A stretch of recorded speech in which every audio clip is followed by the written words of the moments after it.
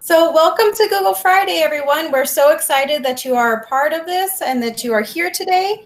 Um, we are doing this every Friday, so we are glad that you are with us. Um, we have a very exciting presentation today done by our wonderful Kristen Waring. If you have any questions, you guys can go ahead and leave comments. I will be moderating today. My name is Mariah Guillen. Um, so just put any comments down. We will be answering probably at the end of the um, presentation. But if you have any questions, comments during this time, please feel free um, to ask them. And if you could also put your mics on mute, that would be great. So I'm going to turn this over to Kristen. Thank you, Kristen. Thank you very much, Mariah. Happy Friday, everyone, and thank you for joining us for our next installment of Google Friday webinars. Um, I'm really happy to see the number of a good turnout here today. Um, so I've got some exciting stuff for you. I'm going to be presenting on getting creative with Google Slides.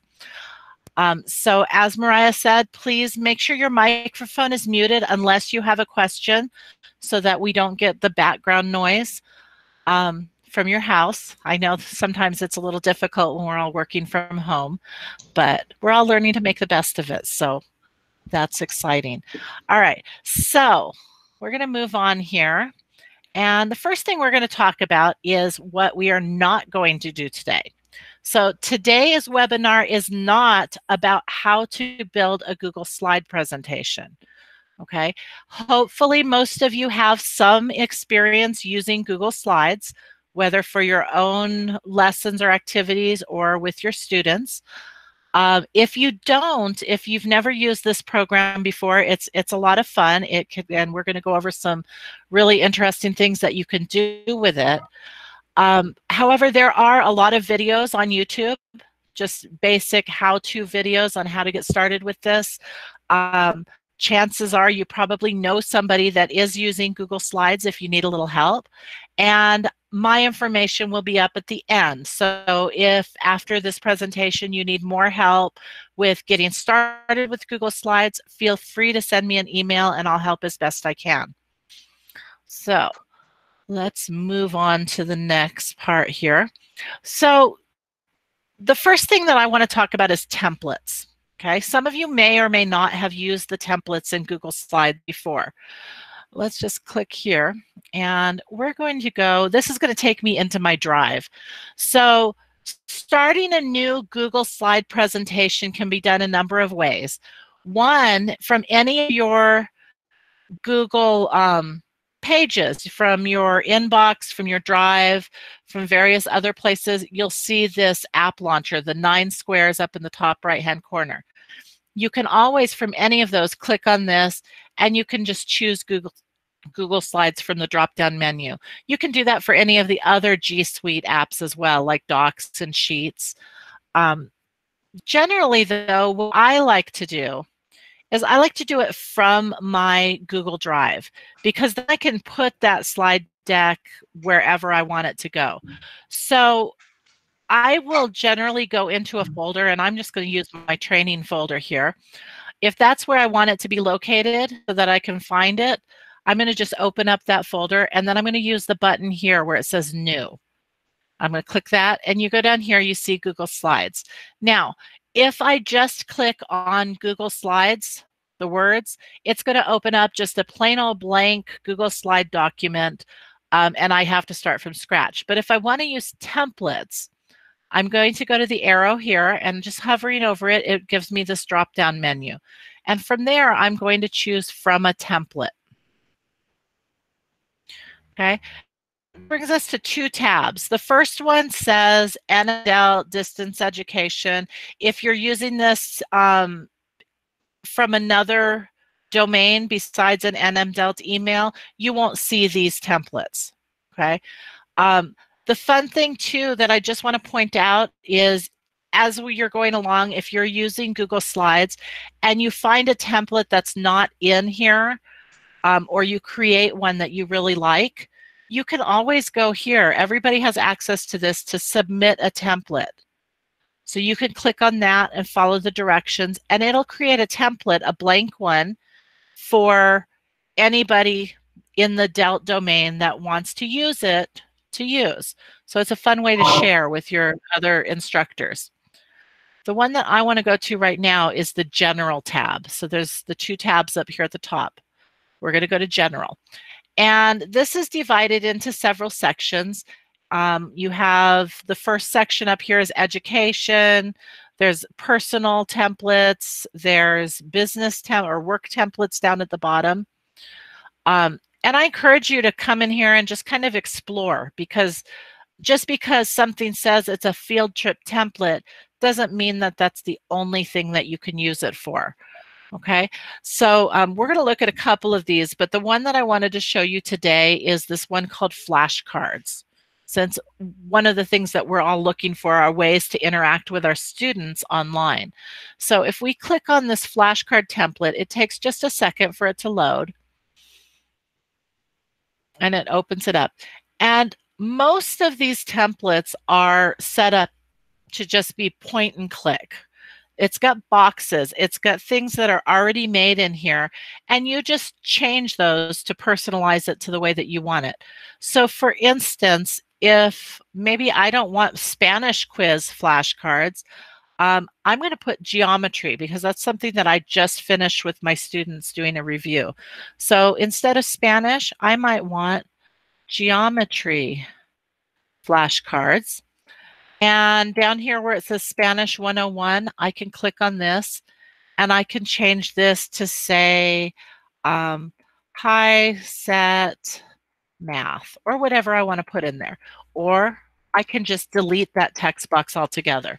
But whatever you decide to do, the images and the wording on these templates are all updatable or you can all um, make it personal. So there I've changed that. If I wanted to change colors, I could, but I kind of like the colors in this app. So let's look at the second one, the second slide. So I'm going down to the second slide here. Generally, in an uh, template app or a, a template, uh, the first couple of pages will give you any directions that you need to know for filling in this, this template. Here, it's just got a quick tip it says try right clicking on a photo and using replace image to build your own flashcards. Okay, so I'm going to show you the difference here because there's a couple of ways to insert an image into your slide presentation. And generally, the way that we do that if we're starting from scratch is we're going to go up here where it says into our toolbar and we're going to choose insert and choose an image. And so what I'm going to do is I'm going to go over here and I'm going to say insert an image from my computer. Okay, you can also insert images from the web.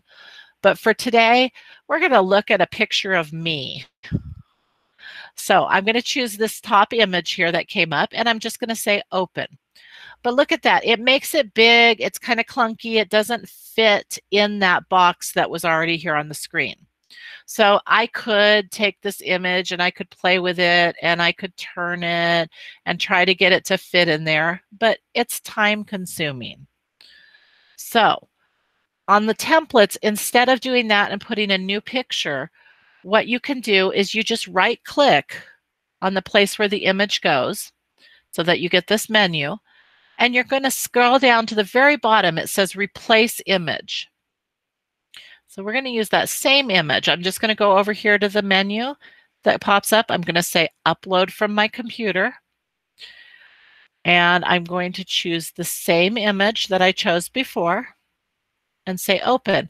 And look at that. It opens it right in that same box that's already set up in your template. So you can, um, if you don't like this, sometimes it'll make it too big so it doesn't fit in there because maybe your image is much more, much larger than the space. So what you can do is you can also double click on this and it will show you if the image has been cropped at all. And then you can take your image and you can drag it to different places and get the part of that image that you like the best. Or maybe I don't want that whole image. I can make my image a little bigger and then move it around and you can see the frame here. So maybe I just want to get that part and have it cropped off. And then click outside of the box. And there's your image It's a whole lot less hassle than trying to move that bigger image and resize it and re reshape it to fit. So on this particular slide, I can also go down here and I can click on the words and maybe I just want to change it to my name. Okay, so now I've personalized this slide. I've I haven't changed a whole lot except the details. Let's go to this next slide. And what I want to show you is what it looks like to the students when they're presenting, when you're presenting it. So if I make this larger, what they have right here is obviously a pineapple. Remember, these are flashcards. So the student is going to see this. And then when you click on, you could use this as a discussion tool. Okay, everybody that's in this online classroom, tell me what you think the word is that goes along with this pineapple. How do you say it in Spanish, if that's what we're working on? Okay, then we can click on that and there you go, there's your answer. Okay, so templates give you guidelines on ways to put these together. Okay, there's a car.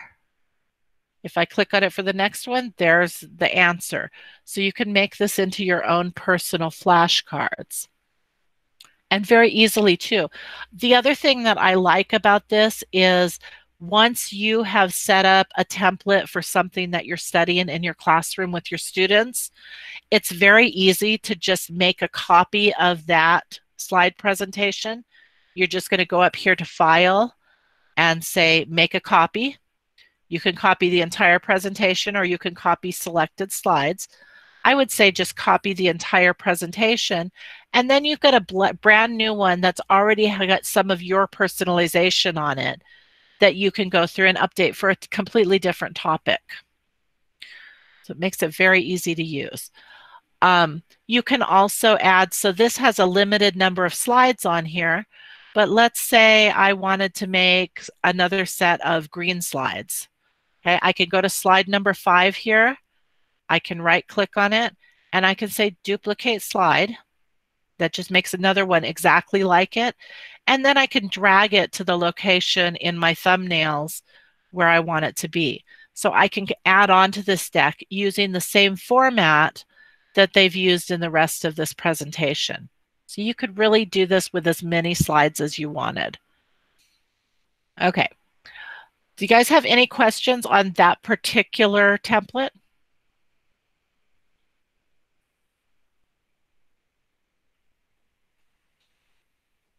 Oh, and there, I gotta remember not to click on um,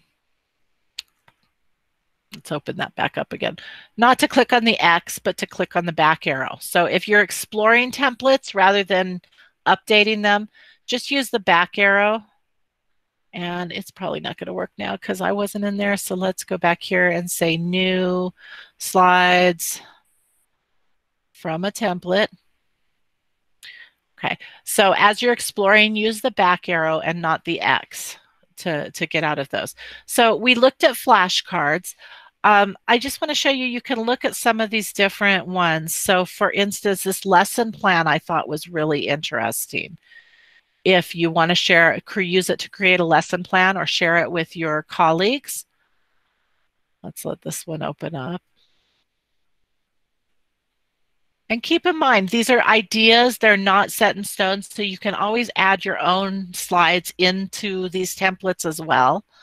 But if you look at this, it just has guidelines. So who's your audience? You can update that. If you don't need that slide or you don't want it, just right click on it and delete that slide. You have objectives, materials, and then you get down here to the procedure. Um, they've created a timeline for your lesson, which I thought was great. Um, you can change everything on here. If this first part needs to be five minutes instead of 10 minutes, change it. Um, one thing about the Google specific templates like this is they use this kind of made up language. So don't get confused by it. I know the first couple times I saw it, um, I thought, what in the heck are they writing? But this Lorem ipsum dolor, it's just their placeholder so all you would do is just click on this, highlight it, and then replace it with your text to go into that box. Okay, so this is kind of fun. They even get a tab down here at the end where you can list what you want your students to do for homework. So a kind of fun way to share. And then I can click the back arrow. I can go back to my templates and look at something else.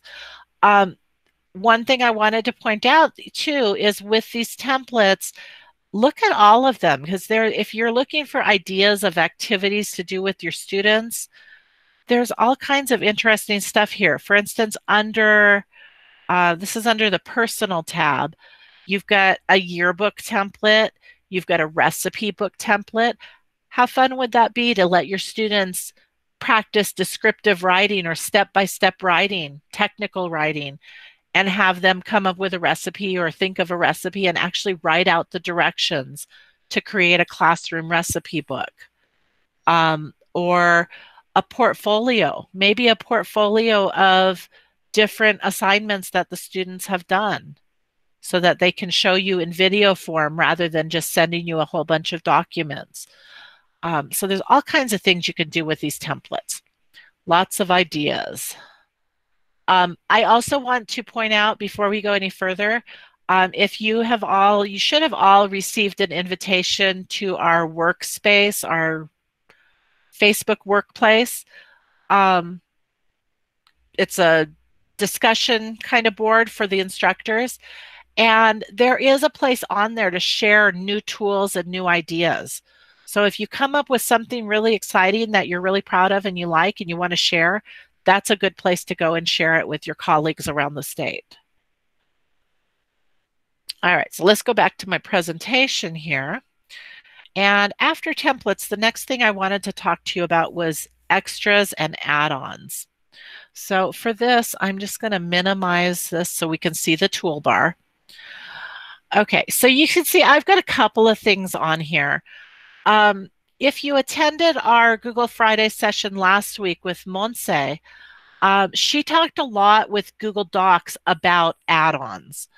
And in all of the Google tools, whether it's Docs, Sheets, Slides, other things, they're all going to have up in the toolbar a place that says add-ons.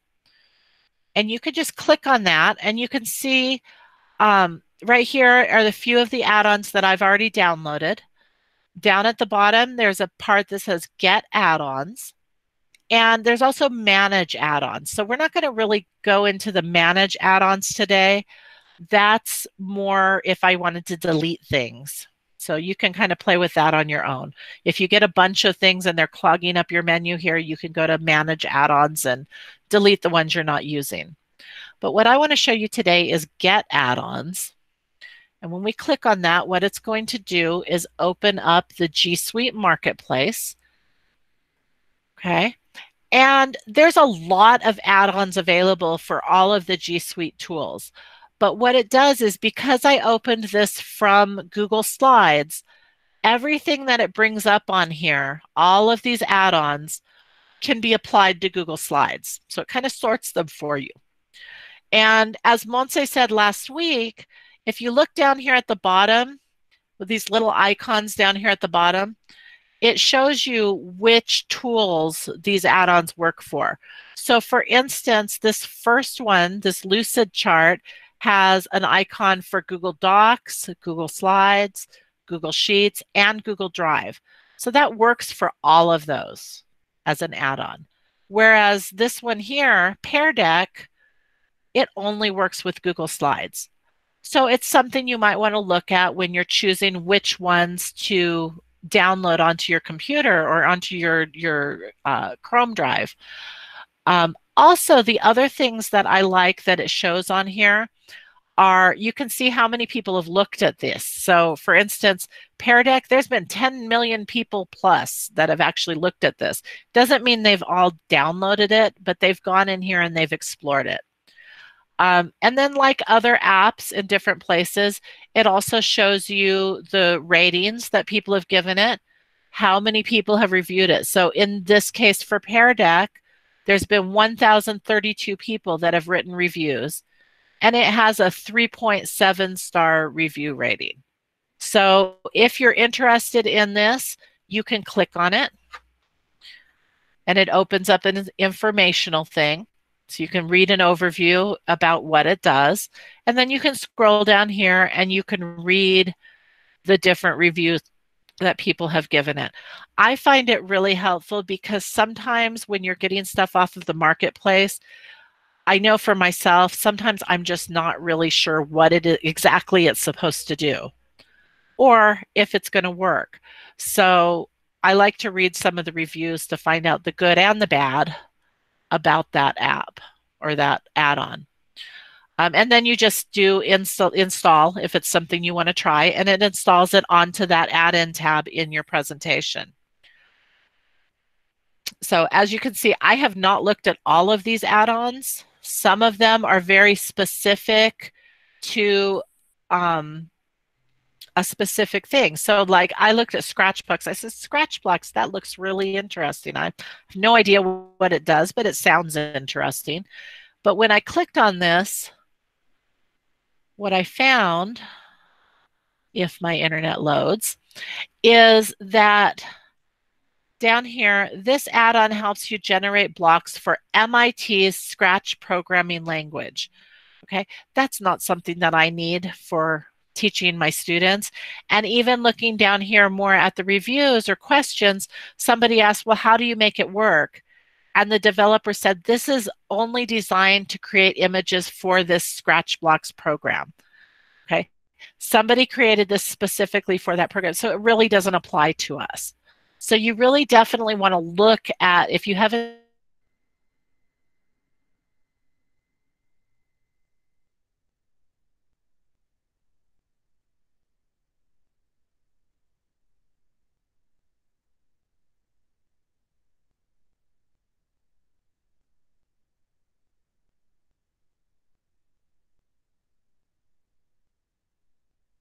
And so to use it, I would go up here to add-ons and I'm going to choose Magic Rainbow Unicorn Slides and say start.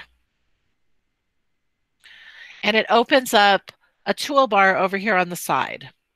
So what this does is this changes your text from plain old blue or plain old black and white to rainbow colors. And you can choose how many colors you want in this. So for instance, I can click on the start and I could say, um, right now it's going from this red, if you could see up here in the top corner, it's going from this red all the way over to this pink. So the second one, oops, let's close that one. The second one where it ends is, oh, up there. So it goes from that color to that color and every shade in between um, you can change that. You could have it be all blues or all purples or just red and yellow, however you want it to look. So I'm just going to leave it the way it is. You can also choose your shade. So you can go regular, light, lighter, or very light, depending on how you want it to look.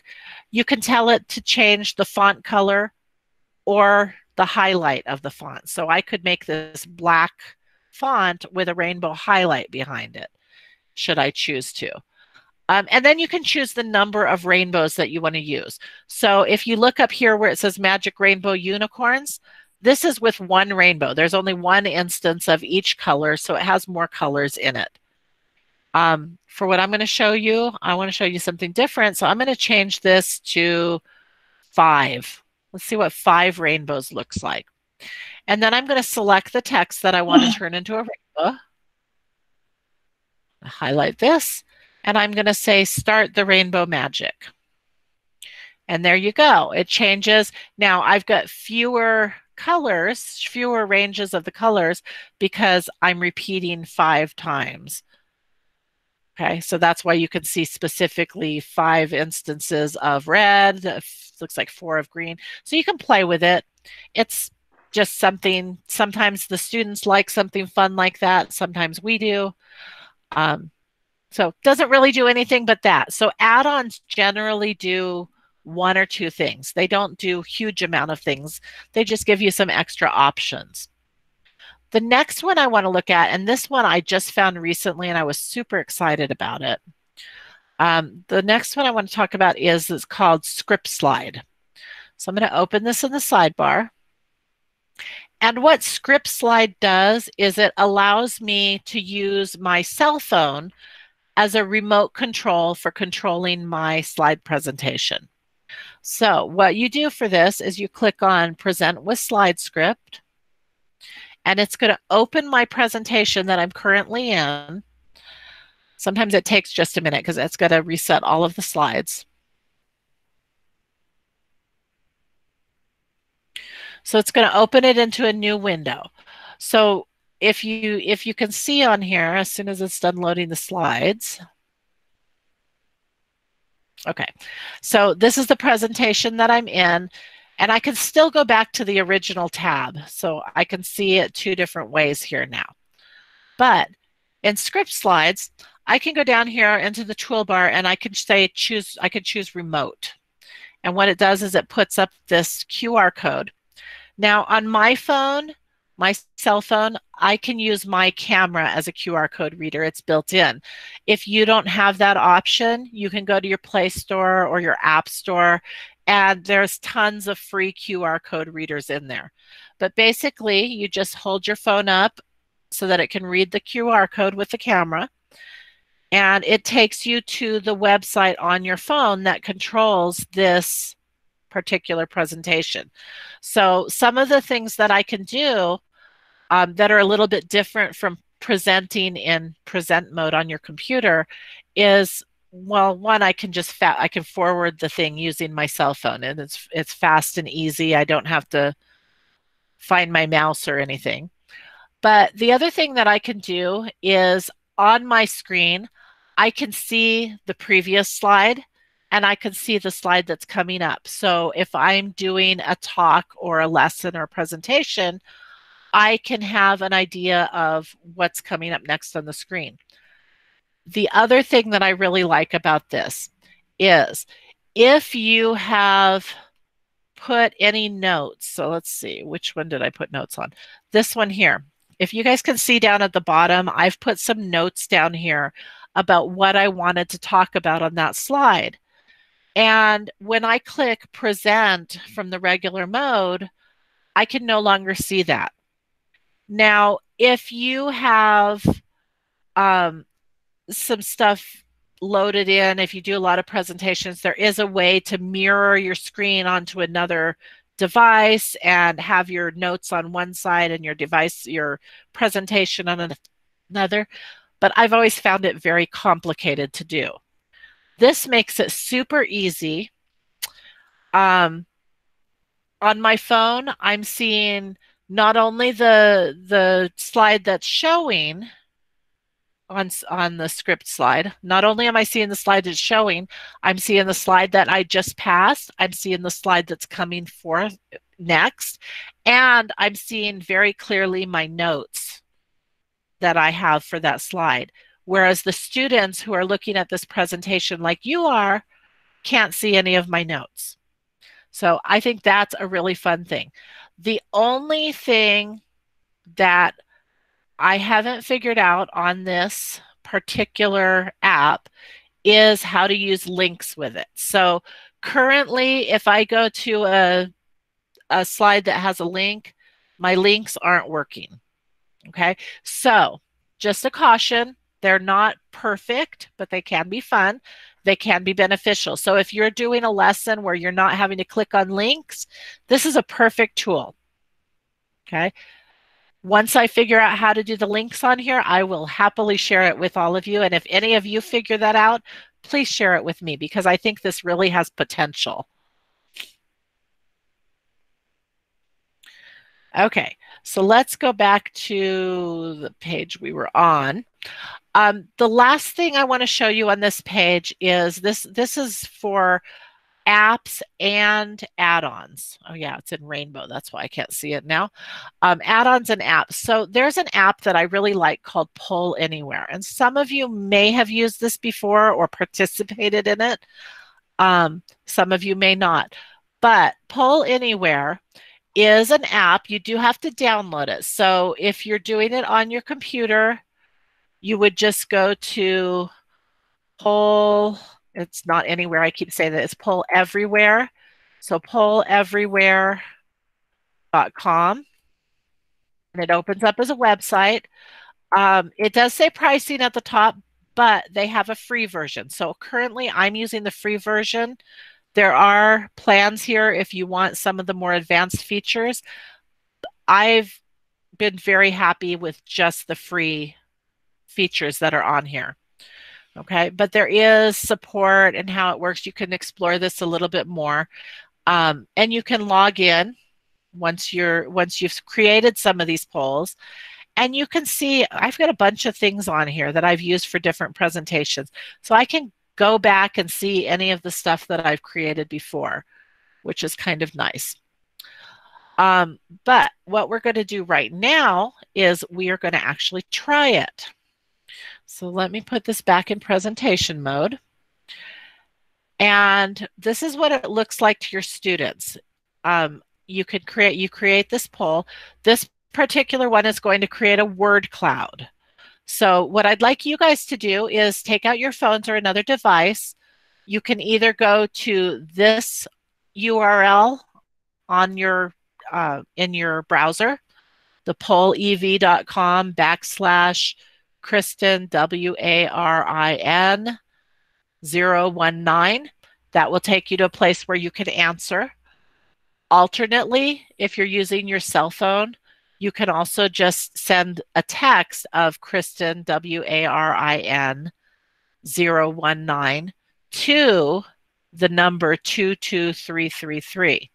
Either way will get you to a place where you can type in answers to the question.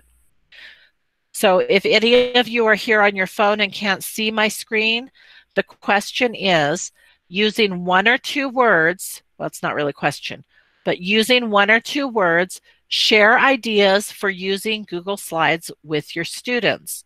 So if any of you want to go in here and respond, it'll give us an opportunity to see how this works. We'll, we'll give this a couple minutes here.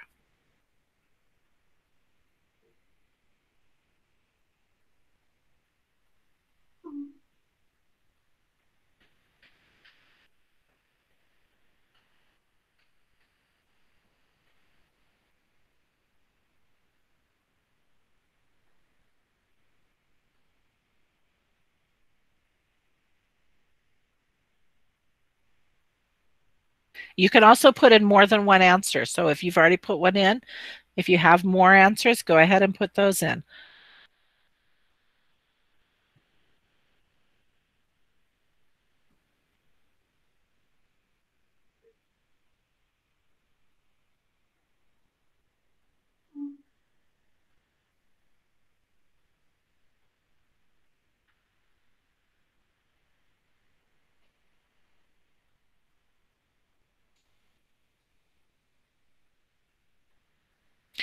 So I'm starting to see you can you can kind of watch this as you guys are putting stuff in and things change.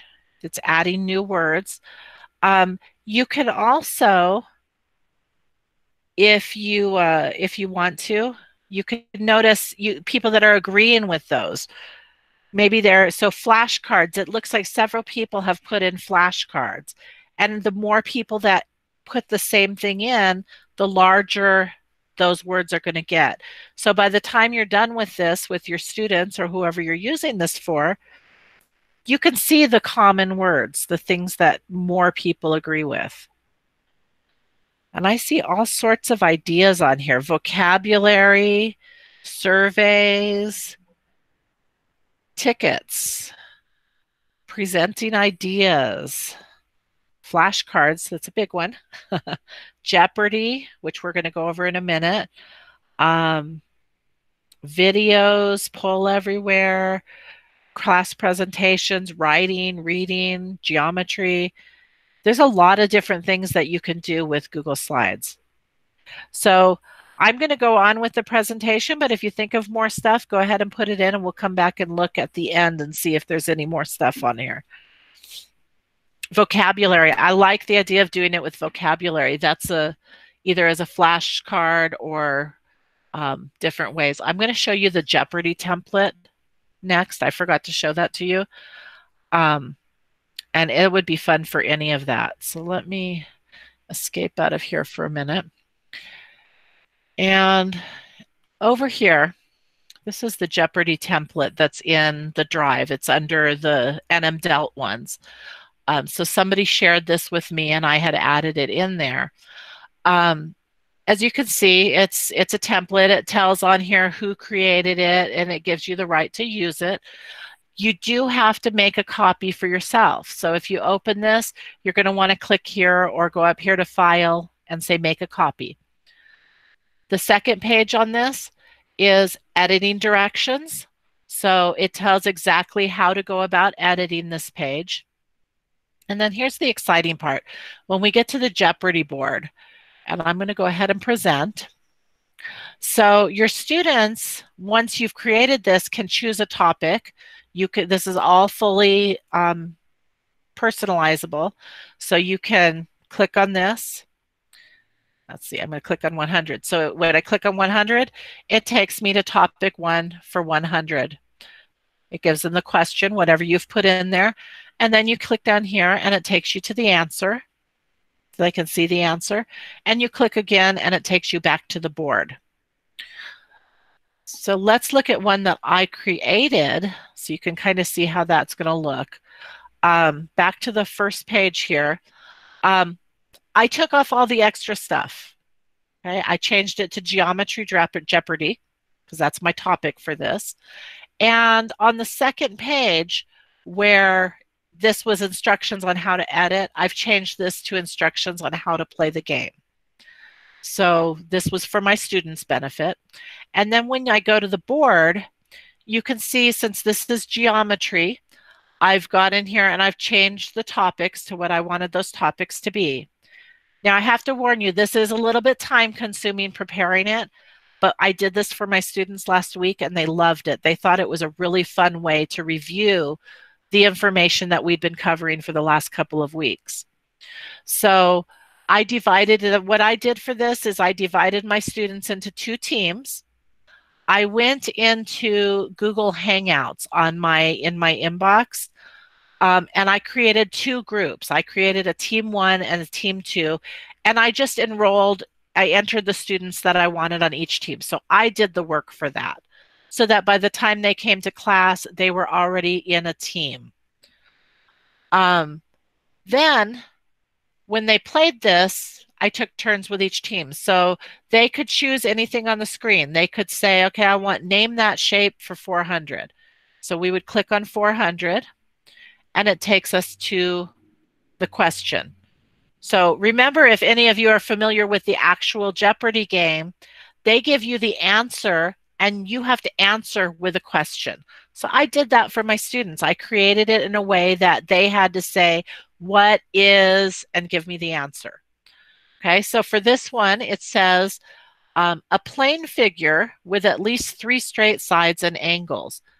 I gave them two minutes on a timer to come up with an answer so they could go into their hangout team and discuss what the answer was going to be and then at that two minutes they came back and they would give me an answer if they gave me the correct answer they got the points if they gave me an incorrect answer i allowed the other team 30 seconds to come up with an answer and steal the money so i also encouraged both teams to be working on the, prob- the problem at the same time and then once if they've given us an answer, you can click here and you can see the answer.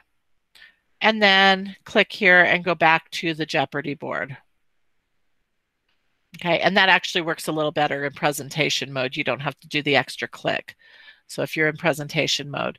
So if I want to go to that question, there's the question, click to see the answer, and then one click back to the Jeopardy board. So it's kind of a fun thing to set up and play. And you could do it with almost any kind of review. You could do this with vocabulary. You could do this with math. You could do this with pretty much anything, science, anything you could think of. Okay, so let's go back to the presentation here. We're running a little bit behind. So I got a couple more things I want to show you. Let's go back to present. Okay. Oops, there's my word cloud. So quite a few things. Now with also also with this word cloud, you can save it. There is a way to download it and save it after you're done. Um, so that you can show it in other activities or other things later on. Okay, now we're going to look at, whoops, too far. All right, we're going to look at explore. So let's exit this. Has any uh, anybody ever used explore before? This one is really fun. If you are if you are somebody who has used slide presentation a lot, you may have seen it or you may not. I used this for over a year before somebody showed this to me. What the Explore button is, it's this little star-shaped button down here in the right-hand bottom corner of your screen when you're on Google Slides. Okay, it looks like this, only it's gray. Um, and what it does, I'm going to create a new slide here. So I'm just going to create a blank slide. And if I was putting together a presentation, I might put a text box in here um, that says, or maybe this is for my class. So welcome to Math 101, whatever we call it. Okay. And, but that's kind of boring just to put that. So I want to have a picture too. So I'm going to go up here to insert, say insert image, and I'll, this time I'm going to search the web. Ah, no, that's not good. Let's try that again. I know why it's doing that. No, I don't know why it's doing that. Okay, let's close that one. That's probably why. All right, we're going to go try this again. It's always fun to have uh, technology that works. It's even more challenging to find technology that doesn't work. Okay, there we go. So it, it's going to open it up over here. And this is just a search box for the web. So since we're talking about welcome, I'm just going to type in the word welcome click on it, and it's going to pull up a bunch of images having to do with welcome that I could use. And looking through here, let's see, I really like this one. Okay, so I'm just going to click on it and I'm going to say insert. Okay, so I've got two things on here. I've got a picture. I've got welcome to math. It's kind of blah. Um, I could take a lot of time and try to create some shapes and colors and stuff to make this slide look better. Or I can click my explore button down here. And what it does is it opens up this bar, this sidebar, and it gives me a bunch of different options that combine those two things together. And some of these are using shapes or tools that are not available anywhere else. It's customizing it. So I could say, well, this looks interesting. Let's see what that looks like. That looks pretty good, but not exactly what I wanted. Let's try this one. Okay, look how much nicer that looks. Just putting that extra image in there. They've worked with the size, with the font, and they've made it into a very professional looking slide. Okay, you can do this with any of your slides. And in fact, most of the ones that I have on here, this one, um, the templates one, this, I did exactly the same thing. I put a picture, I put words, and then I scrolled down here on the side with this to see which one I liked the best. Okay, and that's what I chose. So you could do that. Now, once it does this, you can always undo it if you don't like it. You can use your Control Z or your undo button and change it back to the way it was. Um, the other thing that you can also do is you can add on to this. So if I wanted to put more information on now that this has already done this, I could put another text box down here and maybe put my name and contact information or something like that. The thing that you don't want to do with this when you're first getting started is to put too much information. Okay, so I'm going to open one more box here. We're just going to open a blank one. And I'm going to go back to my insert image, search the web. And this time, let's say, just because I like them, we're going to look at dogs and it just pulls up a whole bunch of images of dogs. And I can go through here and I can say, oh, that one's cute, and maybe this one, And I'll look at these guys with party hats on. And let's pick one more. These guys. Okay, so I've clicked four. It tells me down there that I've picked four images and I could just click insert and it's going to put them all on the page in no particular order. They're just piled on top of each other. So if I'm doing this myself, I could just take these and I could move them around. I could take each image and resize it and move it around and all that. Um, or I can look over here and this is kind of a guide to tell you that that's just too much information on one page. I could do it, but it's not going to look very professional. So you want to be careful not to put too much information. So I'm going to delete a couple of these and think that, well, maybe I'll just put some of these on a different slide. Okay, so now I've got two of them. Even though they're piled up here, I can look over here. Can I help? Do you have a question? Okay, I can look over here and I can choose this one, or I can choose this one, or something that looks good. Maybe I like this one, but then I think, oh, I want to put a text box on here. So I'm going to put this, and I'm just going to type cute dogs. And now it changed my options over here because now I've got three different fields. I've got two pictures and I've got some words and it gives me some other options to make this look good. Look how nice those look. Even the ones that are overlapping look kind of interesting. So you get more options. Sometimes different colors. Look how many options it's given me. Lots of different, I think this one's super cute with the circles it's a fun way to just give you some ideas of how to make what you're putting on the screen look more professional. Okay, I'm going to hurry up here because we are running out of time. And I want to show you one last thing.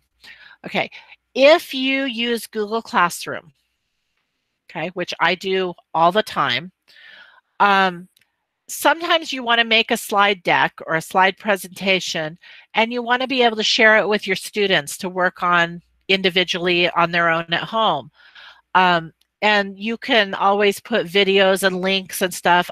I've done a whole assignment with that, um, which is what I'm going to show you here. So this first one, it's called Voting in America. And if I were to take this just as a regular slide presentation once it's finished and go up here to share and choose the shareable link, okay, I can copy the link. I can put this as a link into Google Classroom and my students can view it. The problem is when they open it up, this is what they're going to see. They're going to see the sidebar with all of the the smaller um, thumbnail pictures. They're going to see the toolbars up here. And if they want to, they're going to see any speaker notes that I've put on there. And if they want to see it in presentation mode, they're going to have to come up here and click present, which they could do.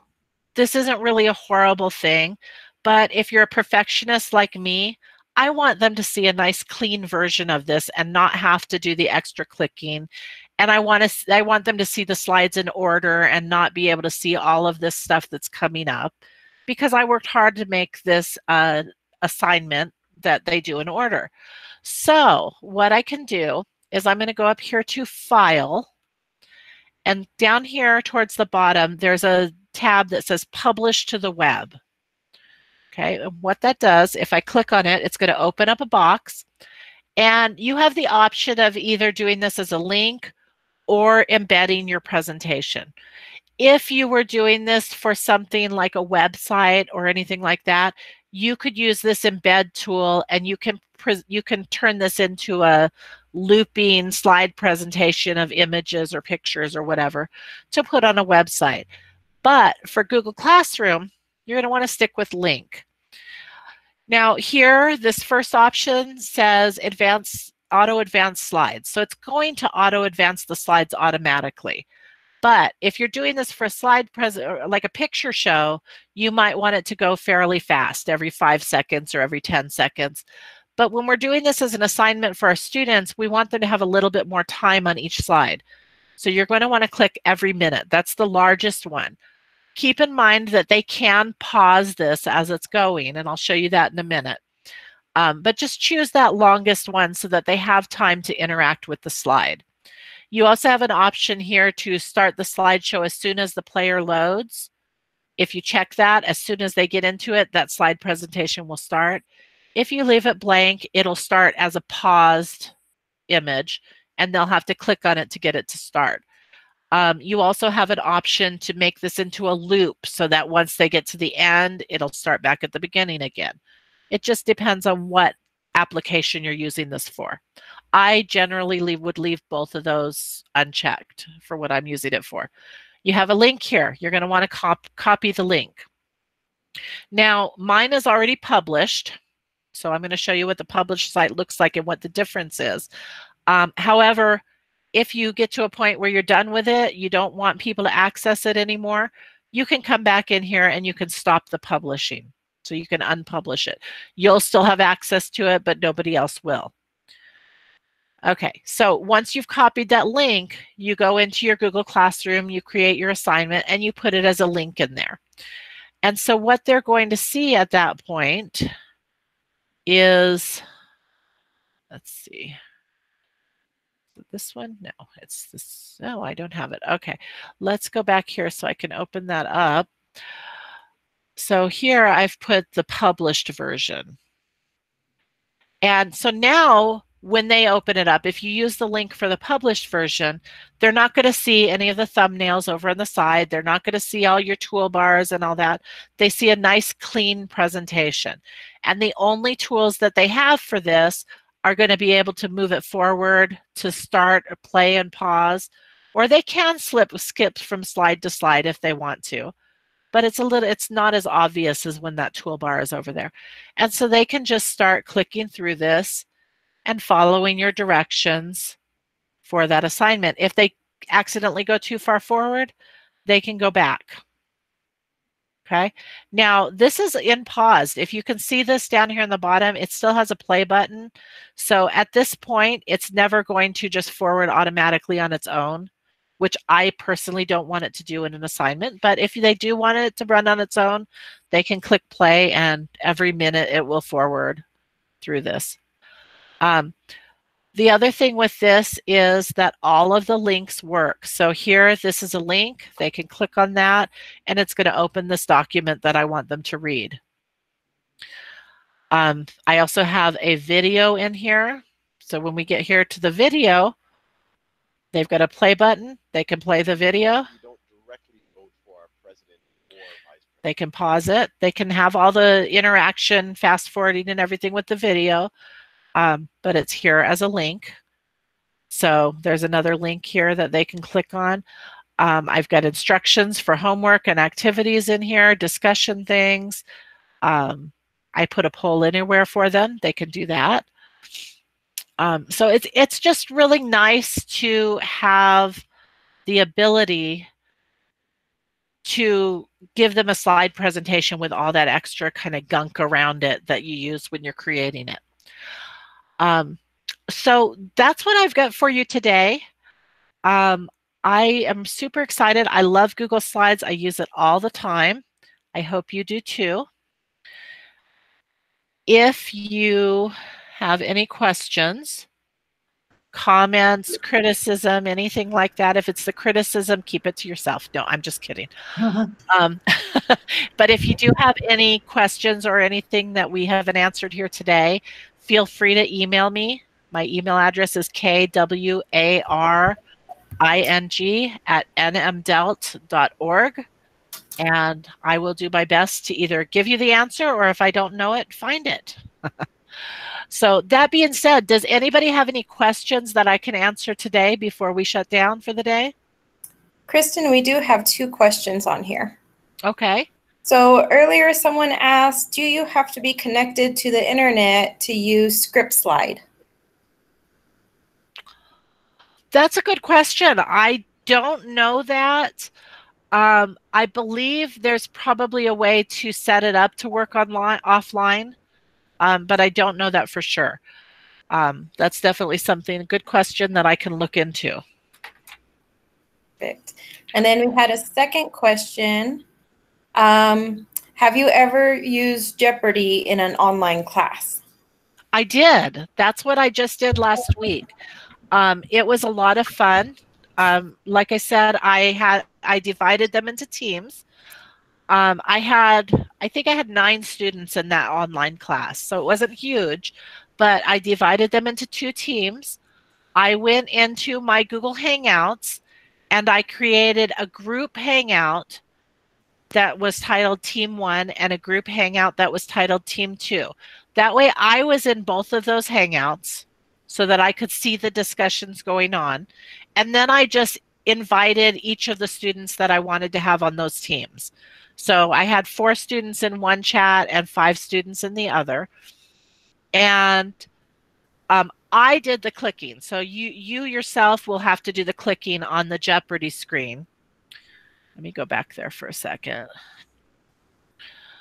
So find my Jeopardy game. Yeah. So when it's in presentation mode, you do the clicking. So you're going to ask them, I had them choose a team leader. So I had one main spokesperson for the team and they would talk for just a minute and decide what they wanted to ask. And so they would come on and say maybe they wanted circles for 100. I was like, okay, I'll click on circles for 100 and then they can see the question. Then I started a timer on my phone. Okay, the timer was set for two minutes, and they would go into their chat rooms or their chats and discuss what the answer to this was. They'd come back when they were done or at the end of the two minutes and give me an answer. Then I would go and show them what the answer that I had on here was. And I just had, I used a whiteboard, a portable whiteboard on the side to keep track of how many points they've earned or how much dollars in this case they had earned. Um, the only issue that I uh, see with this is that once I've done, once they've done a question, it doesn't change a color. And we've given uh, Google a lot of feedback on that. So maybe someday soon they will fix that. Um, so you don't have any marking on here that shows which ones you've answered. So my brilliant or not so brilliant solution was I have an older computer monitor here that I have my Jeopardy board showing on, and I used a dry erase marker and I just flicked a little line through each one as I have a Jeopardy that does. Oh, Michael says he has one that does a whiteout thing. have to check that out. But I just marked them off on my screen. And then I used some cleaner and wiped it off at the end. It came off really good. Um, I'm not telling you guys to do that because I can't guarantee it's going to come off of all of your computers, but that's why I use the old one and not my new one. Um, but that's what I did. So we went through, it took quite a while. It was about an hour and a half worth of the game to get through all of the questions. And then we did the final Jeopardy game and they loved it. They had a really good time. We had a couple of glitches here and there, and I had to read off several times what was still available to the students. But we got through it and they all told me every student that participated said that they had a really good time and that they really liked doing review that way. Nice. Um, one more question. Are the sure. Google Fridays archived yet at nmdelt.org? That is not the case, and I need to do that. Okay. so Yes, they will be soon. Any other questions? Okay, so I just I just want to advertise for you guys real quick. If you haven't done them before, if this is your first time, Google Fridays um, for the time being are going to be every Friday at noon. We'll hopefully have a new topic for you, and the webinars will be anywhere from a half an hour to one hour long. So please join us. The link is always the same. This uh, flyer is up on the website, so you can always go in there and find the uh, links to get into this webinar. Okay, so hopefully I hope to see you back here next Friday. And you guys all have a wonderful day and a safe, healthy, wonderful weekend. Thank you, Kristen. That was wonderful. Thank you, everyone, for attending, and we will see you next Friday.